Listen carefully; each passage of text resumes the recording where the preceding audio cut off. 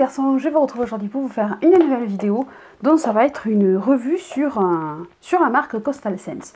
Donc dernièrement, je vous avais fait une vidéo sur la marque Coastal Sense pour vous présenter une palette, donc la Boulevard Smoky Palette, euh, que j'aime beaucoup. Donc aujourd'hui, je reviens avec Coastal Sense qui m'ont envoyé un kit de pinceau à vous présenter. Donc voici le kit de pinceau. Donc je ne m'y attendais pas du tout, je ne savais même pas que j'allais recevoir ça. Et du coup, quand j'ai ouvert le colis, j'étais agréablement surprise de trouver que c'était un kit de pinceau. Donc c'est le Brush Affair Vanity Collection, donc qui est livré avec euh, la trousse enroulable. Et à l'intérieur, vous avez 22 pinceaux, donc vous voyez la couleur, ils sont violets. Donc le kit sur le site de Coastal Sense coûte 49,95$ et vous avez 22 pinceaux plus la trousse. Donc je vais vous montrer comment sont les pinceaux. Donc je vais vous donner déjà ma, première impression sur le kit et ensuite je vous donnerai euh, dans une autre vidéo euh, ben, mon impression une fois que j'ai utilisé les pinceaux et que je les ai lavés. Donc là c'est la découverte du kit. Donc le kit se présente dans un étui, ben, une trousse noire comme ceci, avec les initiales Coastal Sense. Le kit se présente comme ça, avec les initiales Coastal Sense. Ensuite, on a à l'ouvrir, puisque c'est une fermeture euh, qui se ferme toute seule, elle est aimantée. Et ensuite, on défait et on va trouver, bien entendu, les 22 pinceaux. Donc voilà comment ça se présente. Donc moi, j'avais jamais eu de trousse, euh, à proprement parler, de trousse de pinceaux. Donc euh, elle est sympa, donc c'est du synthétique bien entendu. Niveau odeur, ça sent le neuf, ça sent pas une odeur dégueulasse comme on peut avoir sur certains produits, ça m'est déjà arrivé de recevoir des sacs chinois et l'odeur a été juste épouvantable. Non, là, l'odeur, euh, ça sent le neuf, c'est tout. Donc voilà comment se présentent les pinceaux. Donc on a pour le visage, pour les yeux, on a vraiment de tout. Donc ils mettent que ce sont des, pinceaux qui sont euh, ben, pour amener en voyage, bien entendu. Donc on a 22 pinceaux pour euh, tous les yeux et le visage. C'est en matière synthétique, donc c'est pour ça que ça part davantage pour les personnes qui sont véganes, qui ne veulent pas utiliser les pinceaux avec des poils ben, d'animaux, hein, puisqu'il y a des poils de poney, il y a des avec des, poils d'animaux, donc ça c'est du pinceau synthétique. Donc je vais vous montrer le premier qui est le pinceau poudre. Donc déjà on le reçoit emballé avec un plastique en bas et avec euh, ceci pour le tenir. Donc voilà la couleur. Donc je sais pas là si ça va faire bleu ou violet, mais en fait ils sont violets, c'est euh, ils sont de Parme en fait. Hein, voilà. Donc là vous avez marqué le nom de la marque ici.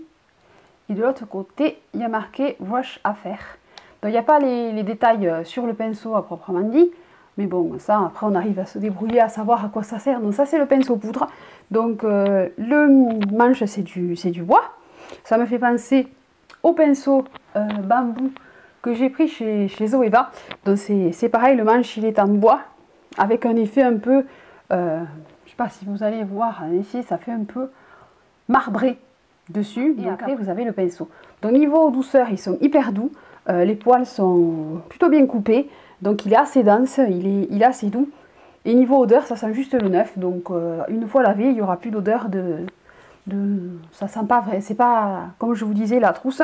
C'est pas une odeur... Euh, c'est ce qu'on a peur quand on commande des, des pinceaux, qu'ils aient une odeur épouvantable. Donc ça, c'est le pinceau poudre. Donc il appelle Power powder brush, donc c'est ça, hein, c'est le pinceau poudre, donc qui est assez, euh, assez dense. Donc voilà le premier pinceau, donc c'est celui-ci. Ensuite, si je continue, là j'ai un pinceau duo fibre, donc de deux couleurs. Donc pareil, le manche c'est toujours le même, il n'y a pas de référence sur les pinceaux à part marqué Coastal Sense et brush à faire. Et euh, pareil, donc là vous avez le pinceau duo fibre. Donc les duo fibres, moi je m'en sers pour appliquer euh, tout ce qui est blush crème, ou même le blush en poudre, ça ne me gêne pas. Donc voilà comment il se présente. Donc il me fait penser au Sigma. J'en avais un de chez Sigma qui est duo fibre aussi. Donc il est pareil là, c'est dense et toujours les poils sont doux. Donc celui-ci, c'est marqué duo fibre, non? Duo Fiber Brush. Voilà. Donc ça, c'est le duo fibre. Après, on continue avec le troisième. Donc qui est aussi un pinceau poudre. Donc celui-ci, c'est le Tap Red Powder. Donc Red Powder, c'est à peu près pour faire si on veut mettre justement la poudre sous les yeux, c'est plus pratique parce qu'il est plus pointu que l'autre qui est plus euh, fluffy.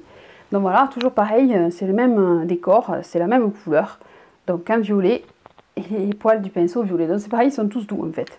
Donc il n'y a pas de souci sur ça. Ensuite, on a un pinceau blush biseauté. C'est ça.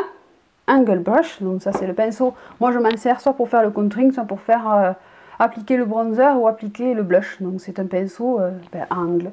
Voilà, donc vous voyez comment il est. Donc moi je trouve qu'ils ont pas mal de poils. Après en main ils sont bien, ils sont longs. Donc on les tient bien en main. Qui va servir pour appliquer le fond de teint, la bébé crème, tout ce qui est, tout ce qui est liquide.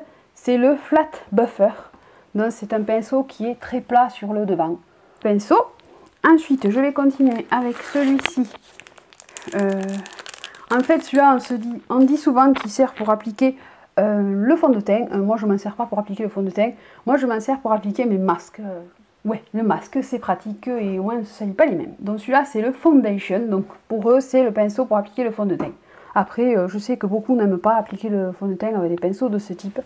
Donc voilà comment il est pinceau foundation. Donc je continue. Donc celui-ci c'est le large blender. Donc voilà, celui-là c'est utile pour appliquer ben, justement la poudre sous les yeux ou même faire son trait de contouring. Et après on a celui-ci qui est plus pointu, donc c'est le Pointed Precision. Donc c'est celui-là qui sert peut-être, euh, oui, à appliquer l'enlumineur, même celui-là on peut le faire aussi. Mais celui-là il est plus euh, pointu, vous allez voir. L'autre est touffu, l'autre est pointu. Bon, voilà la différence entre les deux. Ça, c'est le euh, pinceau plat, hein, medium shadow, ils disent, mais c'est le pinceau plat habituel, euh, celui qu'on se sert pour poser son fard à paupières en aplat. Large shadow, donc il est plus long que l'autre. Voilà. Bon, après, vous utilisez vos pinceaux comme ça vous chante, hein, mais en principe, euh, moi j'aime bien les pinceaux qui sont comme ça. Celui-là, quoique celui-là, il est bien pour faire le dessous de l'arcade et tout, même pour poser le maquillage en aplat. Des pinceaux estompeurs. Donc ça, c'est tous les pinceaux qu'on se sert pour venir estomper. Donc on en a trois. On a le grand. Vous voyez, ici c'est le plus long, là c'est le moyen, le plus petit, et ça c'est le moyen. Et le moyen est plus large. Donc on a trois sortes de pinceaux estompeurs. Voilà, vous voyez la différence entre les trois. Donc en fait on a une large gamme de pinceaux. Doe Foot Blender, donc pinceau qui fait un peu angulaire. Moi j'aime bien les pinceaux comme ça pour faire... Euh, le, la hauteur vie. Voilà, c'est pas mal. Euh, ensuite, ça c'est un pinceau pour appliquer, ben, pareil, l'anti-cerne. C'est un pinceau plat. Après, euh, c'est comme le pinceau pour mettre le... Moi j'aime bien ces pinceaux-là pour appliquer les fards euh, à paupières crème. Voilà. C'est le Pointed Blending. Donc celui-là, il est hyper fin, hyper précis. Voilà. J'en ai encore deux autres. Donc là, ils n'ont pas lésiné sur les pinceaux. Hein les pinceaux plats, on a un grand choix. Voilà, donc les deux pinceaux euh, biseautés font euh, pour faire euh, ben, soit un trait de liner. Je vais vous montrer les deux côte à côte. Voilà. Donc on a un plus grand et un plus petit. Et maintenant c'est moi qui suis flou. Oui Voilà, ça c'est le pinceau liner angulaire. il faut savoir y arriver. Hein. Et ça c'est le pinceau pour les lèvres. Voilà les pinceaux. Donc moi, pour une première impression, euh, je trouve que la finition des pinceaux, elle est bien. Euh, il y, a un large choix de pinceaux quand même, il y en a 22. Et après, niveau douceur, euh, moi, j'ai rien à dire par rapport, ils sont, ils sont super doux. après, il faut voir ce que ça donne une fois qu'on se maquille avec. Mais moi, j'ai beaucoup de pinceaux. J'en ai de différentes marques.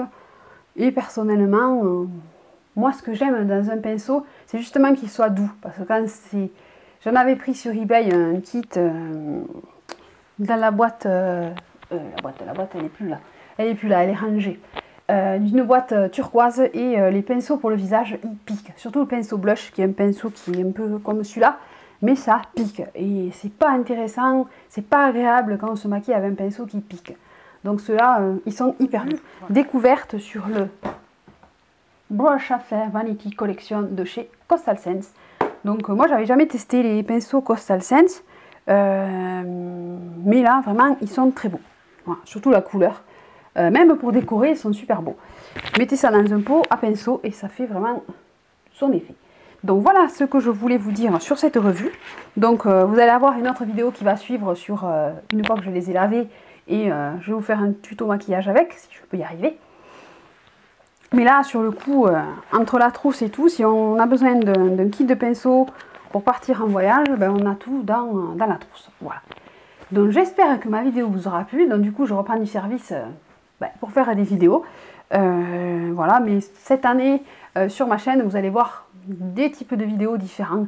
Vous allez voir une autre façon de filmer et d'autres types de vidéos. Je ne vais pas me concentrer que sur la beauté. Je continue la beauté, ça c'est sûr. Je ne vais pas laisser tomber comme ça parce que j'ai commencé en tant que youtubeuse beauté, même si je n'aime pas les étiquettes. Moi je suis youtubeuse au sens que si j'ai envie de filmer un jour une vidéo informatique, si j'ai envie de vous filmer euh, une vidéo sur, euh, sur le coloriage, même si j'ai décidé d'ouvrir une chaîne spéciale sur le coloriage, parce que je ne veux pas trop trop mélanger tout non plus, euh, mais si j'ai envie de parler de vidéos bien-être, euh, je le ferai sur cette chaîne-là. Et je continue mes vidéos euh, YouTube Help. Euh, voilà, ça reste...